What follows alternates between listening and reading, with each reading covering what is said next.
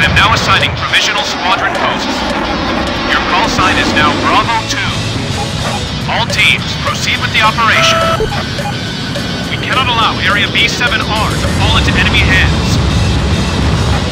Whichever team destroys more of them will get a bonus. Try to destroy as many hostiles as possible. Clear to engage. Lockdown.